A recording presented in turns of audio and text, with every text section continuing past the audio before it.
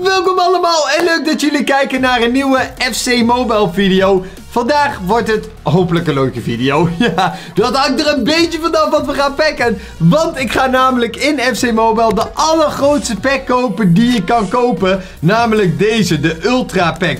Kost 5000 FC points of 12.500 edelstenen. En om jou even een idee te geven hoeveel geld dat eigenlijk is. Als je naar uh, FC punten gaat. Normaal gesproken kost 10.000 FC punten 120 euro. Dus deze pack zou als jij gewoon um, dit koopt met FC punten 60 euro kosten.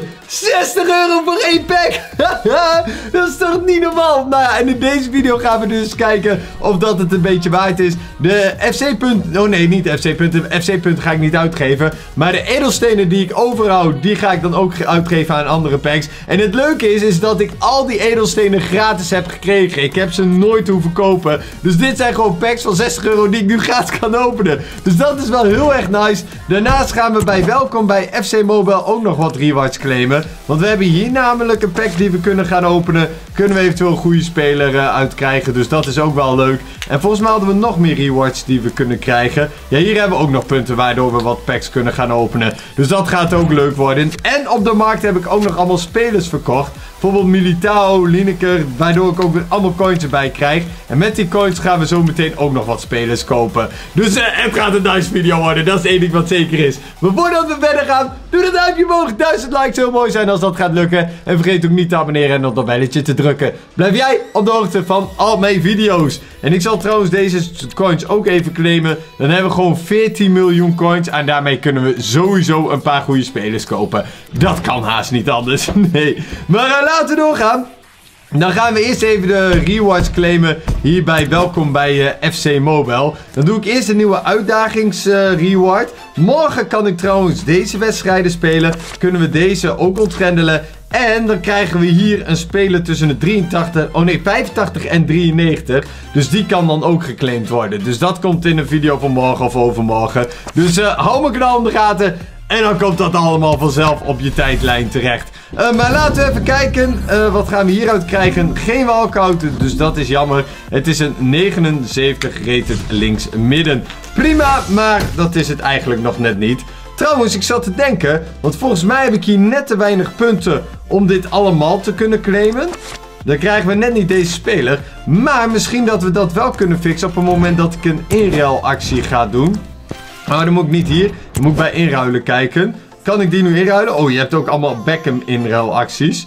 Ja, dat boeit me niet, want ik heb al veel betere spelers. Dit maakt me ook niet uit. Het gaat om die welkomstpunten. Hier wil ik eigenlijk wat van inruilen. Ja, dan gaan we dat even doen. Doe ik dit twee keer en dan heb ik genoeg welkomstpunten. Dan kunnen we al die rewards claimen. En dat is wel leuk. En daaruit kunnen we dan ook weer een goede speler krijgen. Dus uh, de vorige keer had ik daar echt een goede speler uit gekregen. Volgens mij had ik een goede verdediger gekregen. Dus ik ben benieuwd wat we nu gaan krijgen. En of we een 90 plus rated speler kunnen gaan krijgen.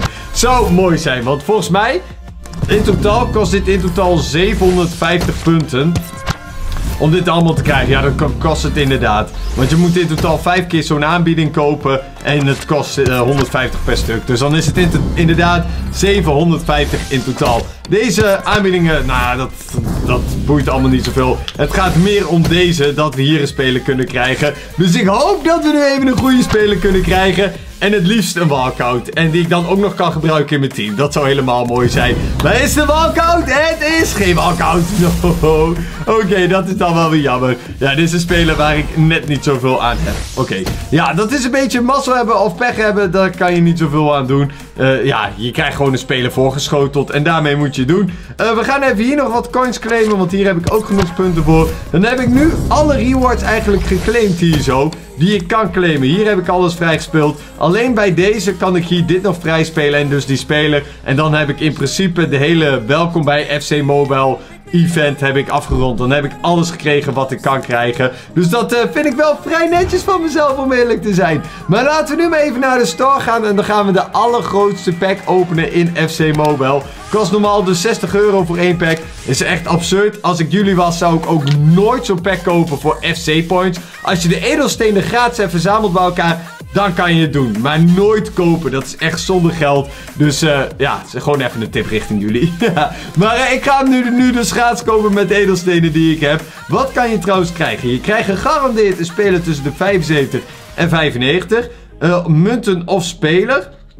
Dus je kan ook munten krijgen. En bij 10 aankopen, dan krijg je gegarandeerd te spelen tussen de 85 en 94. Dan moet je 10 keer dit kopen. En als je dat met FC points wil doen, dan kost je dat 600 euro. Koekoek. Voor één speler ben je gek. Nou, ik ga wel één keer deze aanbieding kopen. En wat zijn de kansen dan wat je gaat krijgen? Een kleine hoeveelheid munten of speler. De kans is dan 100%. De munten gaan van 28.000 tot 37 miljoen. Oké, dus je kan wel heel veel munten krijgen. Ja, die kans is wel klein dat je denk ik 37 miljoen krijgt. Maar ja, de kans bestaat wel. Ja, die kans is al minder dan 1% vanaf de 794.000 munten. Dus ja, die kans dat je dat krijgt is heel klein. Vervolgens spelers. Vanaf de 86 is alles ook onder de 1% kans. Dus met andere woorden, de kans dat je hier iets, echt iets goeds uit krijgt is echt heel klein. Oh, trouwens, hier is wel de kans iets groter op een goede speler. 91 en 90 is, ja, 90 is 1,2%. Ah, het is allemaal heel weinig. Maar uh, we gaan hem gewoon openen en we zien het wel. Ik heb het beloofd, dus we gaan het gewoon doen. De allergrootste pack die je kan kopen in FC Mobile gaan we nu openen. Ultra pack, er moet toch wel een walkout in zitten. En dat zit er ook in. Is het een icon? Dat niet. Maar hopelijk is het wel een goede speler. Spanje linksbuiten, Brighton. Wie is dit? 84 Ansu Fati. no! Maar er kunnen twee spelers in zitten. Dus misschien is de volgende speler iets beter. Maar Ansu ik vind dat niet echt een speler die... Oh, joh. Die zoveel edelstenen waard is, bro. Wat is dit, joh? Oké, ik ga Ansu Fati wel verkopen, want die is toch weer even 600.000 coins waard. Maar oi, oi, oi, oi. Wat is dit een slechte pack voor 60 euro. Als je dit hebt gekocht voor 60 euro, je bent echt helemaal gek. Dat is echt vet zonde. Maar ja, we kunnen nog wat andere packs gaan openen met de edelstenen die ik heb. We kunnen speciale perfecte verdedigers perfect pack openen. Daar kan je verdedigers krijgen. Hoe groot is de kans op zo'n perfect speler? Ja, die is denk ik heel klein.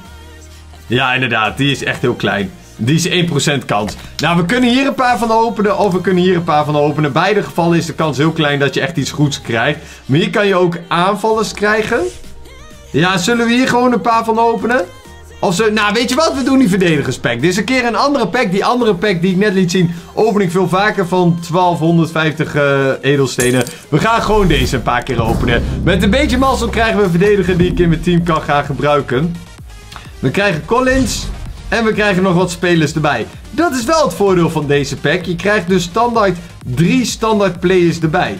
Of nee, je krijgt in totaal 5 gegarandeerd spelers. Oh, dus in verhouding is dat dan beter dan die andere pack. Want daar krijg je altijd maar één maximale speler.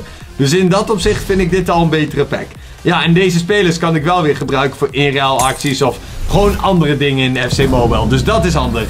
Volgende, weer geen walkout. Nou, dat is jammer. Had ik eigenlijk ook niet verwacht. Kunnen we nog eentje openen. En dan zijn mijn edelstenen af. Dan heb ik 18.000 edelstenen opgemaakt. En we hebben eigenlijk helemaal niks goeds gekregen. dat is wel ernstig, man. Maar ik kan even mijn spelers verkopen die ik net heb gepakt. En dan gaan we even kijken welke spelers ik terug ga kopen. Ansu Fati kan ik namelijk verkopen.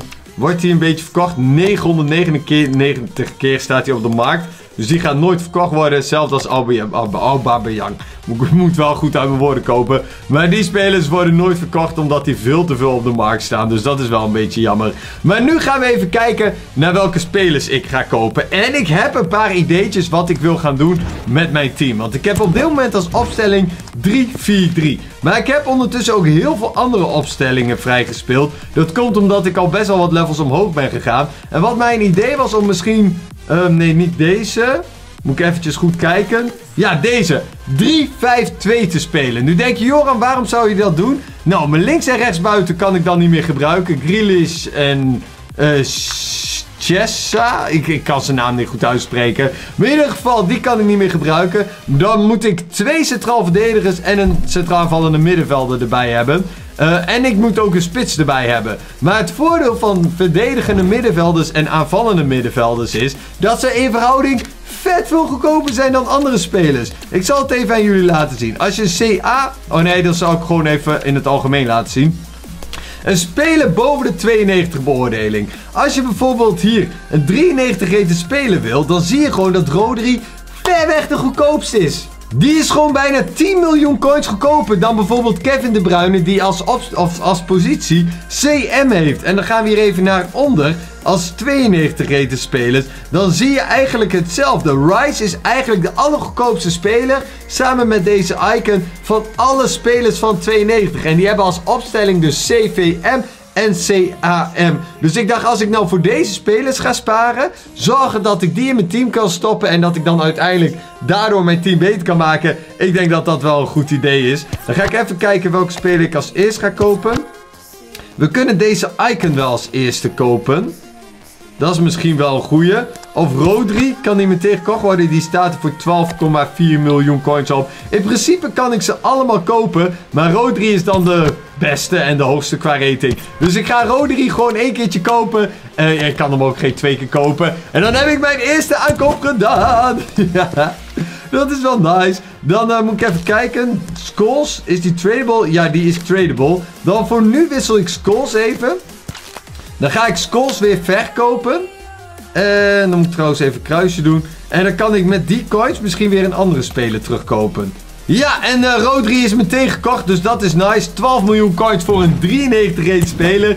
Vind ik relatief meevallen. En dan hebben we gewoon een tweede goede speler erbij. Ja, dat is wel nice. Alleen Rodri staat dan nu even niet op zijn perfecte positie. Dus qua beoordeling gaat hij nu ietsjes omlaag. Hij is nu 83. Dat is trouwens wel heel veel lager. ja, misschien moet ik dan nu alvast een andere opstelling gaan spelen. Je hebt ook eentje met alleen het CAM en CVM. Met 343. Dat is 343 ruit. Ja, die kan ik alvast gaan gebruiken. En dan moeten we eigenlijk nu eerst Gerard gaan vervangen. Dan kan ik alvast een CAM kopen. En dan kan ik langzamerhand ook gaan sparen voor die andere spelers. Maar dan moet ik even kijken of ik nu nog wat spelers kan verkopen. Zodat ik nog wat coins ga verdienen. Want Skulls kan verkocht worden. Um, die zet ik er wel voor 8 miljoen coins op. Dan hebben we wel in één keer weer boven de 10 miljoen, denk ik. Of rond de 10 miljoen. En met een beetje mazzel kan ik dan nog deze CAM kopen. Ja, dat kan. Op het moment dat ik Skulls heb verkocht. Dus dan hebben we twee zieke spelers erbij. Dus ik ga even afwachten en dan uh, ja, zie ik jullie als Skulls is verkocht.